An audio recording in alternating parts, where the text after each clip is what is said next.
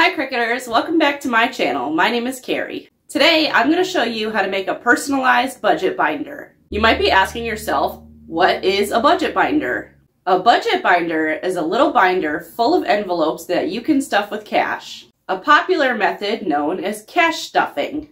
You start with a budget, divide it into categories using envelopes, then pull cash from the bank to stuff the allotted amount of money into each envelope or category. Those categories can be used for anything like groceries, bills, utilities, and more. This technique helps you keep track of your spending and has helped people pay off tens of thousands of dollars in debt. Jasmine Taylor used this technique to pay off thousands of dollars worth of credit card and student loan debt. In addition to paying off massive amounts of debt, Jasmine also turned her cash stuffing technique into a business bringing in nearly a million dollars a year. It just goes to show you that all you need is one good idea to blow up on social media to make life-changing money. Check out this news article I found about her to learn more. That turned into a living for one woman. Her popular cash stuffing videos on TikTok have turned into a lucrative full time job. And Rhiannon Alley has the story. What are 1,000 and 500 slips used for.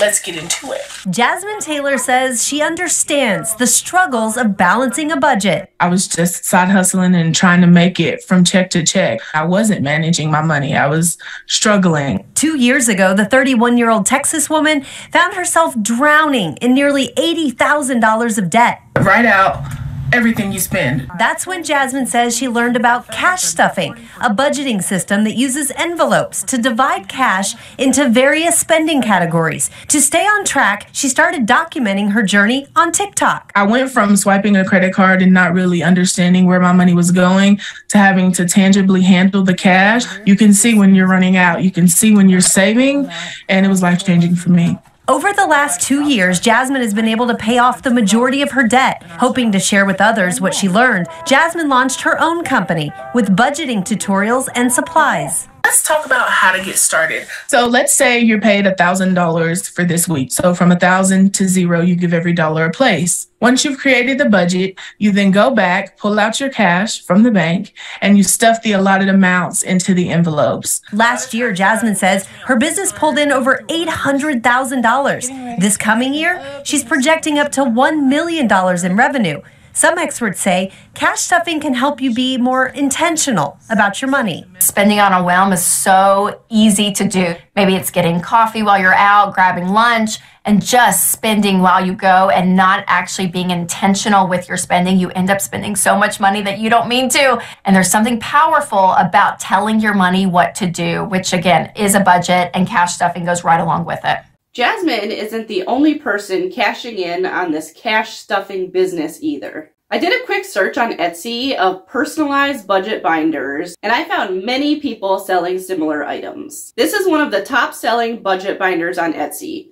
They're selling them currently 20% off on sale for $19.20. Regularly $24 and that does not include shipping. I checked out the seller store further and they don't sell like millions of different Cricut projects.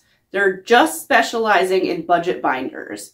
They sell a couple other things such as labels that you can easily make with your Cricut the same way that you personalize this budget binder. They're also selling printables, which is a great idea because you don't actually have to physically package a product and mail it. They get paid every time someone downloads that file. Selling digital files is such an awesome way to make money because you don't have to go to the store and buy a blank and all these materials and go back and forth with the customer designing products packaging it, shipping it, all you have to do is come up with a file such as an SVG or a design or some people even make fonts. And then every time somebody goes and downloads your file, you get money. If you want to learn more about how to make your own SVGs and digital files that you can sell on places like Etsy, make sure you check out this video on my YouTube channel about why you need Canva and Cricut. In that video, I show you exactly how you can make your own SVGs and digital files that you can sell. If you do the math out, with over 3,100 sales, this seller has been able to make a lot of money off of this budget binder niche. I found the same blank budget binders on Amazon for only $6.99. Remember, on Etsy, she was selling them for between $19.20 and $24. And that's just that one seller. There's a whole bunch of other sellers with price ranges higher and lower than that. Whenever I sell things with my Cricut machine, I always try to get at least three times the cost of the blank. So if that budget binder cost me $6.99, let's round up to $7, I would want to get at least three times that. So seven times three is $21, which is right around what that seller on Etsy was selling them for. If you're trying to compete with all of these other sellers on Etsy, you could always lower your price to $18 or $17 and you're still making a huge profit, especially if shipping is extra. But if you're someone like me and you like to focus on your local community, it's a lot easier to sell things for more because you're not competing with tons and tons of other people who are making the same thing as you right in your own little town. I also like selling locally because then I didn't have to worry about shipping products. Speaking of shipping, this budget binder would be really easy to ship because it's not fragile, it's pretty small, and it's squishy, so you could ship it right in a bubble mailer. I love how this project uses a tiny amount of permanent vinyl, which is a lot cheaper to buy than heat transfer vinyl. A 15 foot roll of heat transfer vinyl is $36 compared to a 25 foot roll of Oracal 651 permanent vinyl, which is only $25. So you get an extra 10 feet of permanent vinyl for $11 less than you would pay for a roll of heat transfer vinyl. You do need to buy transfer tape when working with permanent vinyl, but you can reuse your transfer tape. So my transfer tape lasts me literally forever. Personalizing these budget binders is incredibly easy. I'm going to show you how to do that now. Let's start off with the materials that you'll need to make this project. I'll leave a link down below in my video description where you can find all of the materials that I mentioned that you need to do this project. The first thing that you'll need is a Cricut machine. Since the design is small, any Cricut machine will do. You can use the Cricut Joy, the Cricut Explore Air 2, the Cricut Explore 3, the Cricut Maker, the Cricut Maker 3, Cricut has a ton of machines that are really awesome, and any of those machines will work for this project. You can even make this on a Silhouette Cameo or any of the other types of vinyl cutting machines that are out there. I'm using a Cricut Maker to make this project. Next, you'll need some permanent vinyl. I always recommend using Oracal 651 vinyl because I think it's the best and the most durable. However, in this video, I'm actually using rainbow vinyl that I found from the Dollar Tree. I wouldn't recommend selling anything made with Dollar Tree vinyl because honestly, I just don't trust it to hold up as well as better vinyls. But I had this roll of rainbow vinyl on hand and I was making this project for my friend and she really loved it and she wanted me to use it. I told her that I wasn't sure if it was going to last, but let's try it anyways. However, I will say that I actually recorded myself making this project a couple months ago back in March and I never did anything with the footage until now. So she's had this budget binder made with Dollar Tree vinyl for about three months and I messaged her and she told me that it still looks awesome, just as good as the day that I made it. So I was pleasantly surprised to hear that the Dollar Tree vinyl is holding up really well. As I mentioned a few minutes ago, anytime you use permanent vinyl, you'll also need some transfer tape. This is a transfer tape that I love. I have tried so many different brands of transfer tape, and this is by far the best one that I have ever used. The budget binder was found on Amazon. You'll also need a mat. A blue light grip mat or a green standard grip mat works well for working with vinyl. You'll also need some basic tools like a ruler, scissors, a weeding pen, a scraper, and a vinyl trimmer. The first step is to choose a font. You can use one that already came pre-downloaded in Cricut Design Space or you can download a font you love from somewhere else. I have the all access subscription to Creative Fabrica so I get all of my fonts and designs from there. I'm using this font called Thick Font from Creative Fabrica. I prefer to use thicker fonts when using permanent vinyl because I find that they stick better to whatever blank you're putting them on.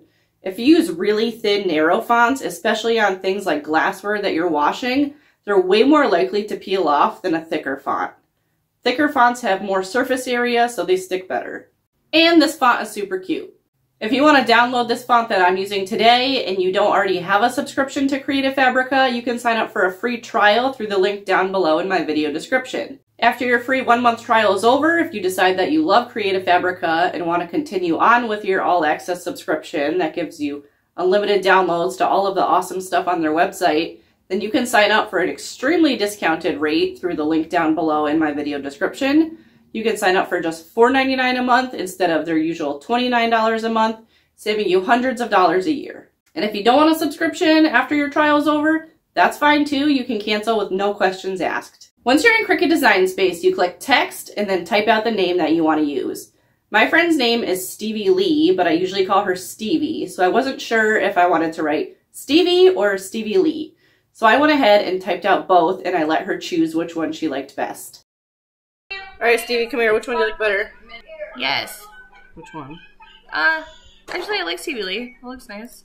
You ended up going with Stevie Lee. Step two, measure your project and resize in Design Space. The width of the budget binder is about seven inches wide. I'm making my design five inches wide, so I have a little bit of space on each side. So using the double arrow in the bottom right-hand corner, you can shrink your design down to be the right size. Then in the upper right-hand corner, click Make It. Step 3. Cut your vinyl. I can see on the mat right here how much vinyl I need to cut. Using my Cricut trimmer, I cut out about 2 inches of vinyl. If you have the Cricut trimmer, it makes cutting the vinyl really easy. If you don't have that, you can use scissors. Place the vinyl on the upper left-hand corner of your mat. Make sure your color side is facing up. Step 4. Cut on your Cricut. Next, we need to select the material that we're using today. If you're using regular Oracal 651 vinyl, then I would just click Vinyl. When working with Dollar Tree vinyl, I would not use the regular vinyl setting. I go ahead and use the washi setting and make some adjustments. Select Browse All Materials. Select Washi, but don't stop here. In the bottom left, select Material Settings. Scroll all the way to the bottom and select Washi. There's this little bar right here, and I want you to lower it to as low as it goes, which in this case is 70. Then click Save and Done. Then I want you to change your pressure to less. I've cut Dollar Tree vinyl several times and I've never ever had a problem cutting it with this setting. Now it's time to load our mat into the machine. Click the blinking double arrow to load the mat and then the blinking C button to start the cut.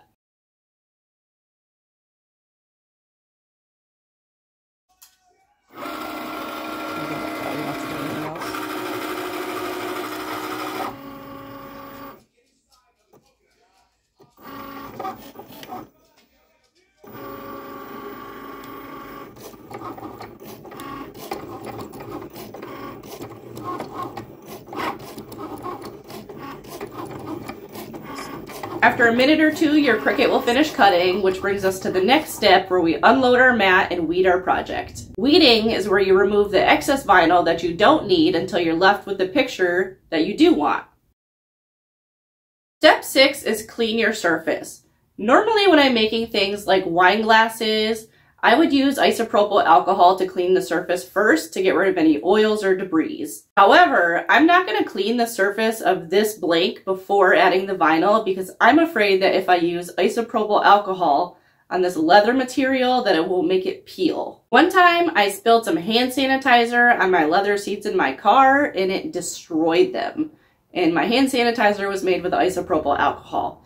So I'm not about to ruin this project trying to clean it. I think the vinyl will still stick just fine. So I'm going to skip this step, but know that normally when you make stuff, you should clean the surface before applying the vinyl. If your blank looked really dirty, you could take um, a coffee filter and some water and wipe it down, but I don't think that's necessary right now. So on to the next step, which is transferring our design using transfer tape. Cut out a piece of transfer tape about the same size as your design and place it over the vinyl. Then carefully peel the transfer tape up. If you're using a transfer tape that's not very good and you're having a problem getting your vinyl to stick to the transfer tape, I would recommend flipping the transfer tape upside down and peeling the backing away from the transfer tape. But this transfer tape that I'm using is pretty good, so I didn't have to do that. Then once your vinyl is stuck to the transfer tape, you can apply it to your blank which in this case is the budget binder. Press the vinyl onto the budget binder and smooth it down flat, and then carefully peel back your transfer tape.